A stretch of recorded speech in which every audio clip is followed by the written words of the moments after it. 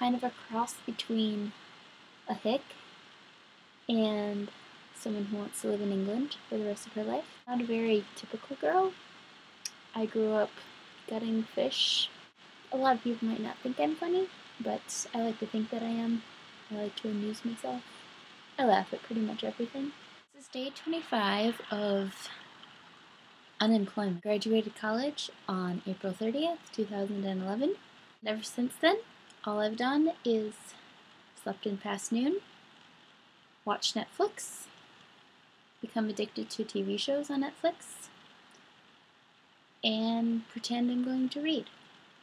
So, I'm starting a video blog to help bring some sense of productivity back into my life. I'm not really sure how broadcasting my personal thoughts is going to help bring productivity into my life, but you never know. At the very least, at least I'll have something to do. Edit frames together. Right now, I'm living as a gypsy. I have pretty much everything packed into my car, so my car is my caravan. I am the gypsy. I'm waiting to hear on a couple jobs. So until I hear from those jobs, I'll just mooch off my family because they're nice enough to do that.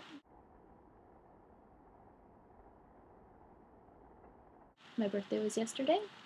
Um, let's see, two and a half hours ago. It ended. And so yeah, it was very chill. I didn't really do much, but that's okay. I've never really done much for my birthdays.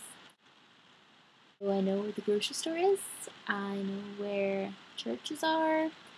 I know where the library is and how many miles and how many minutes away it is from my work and from where the apartment would be.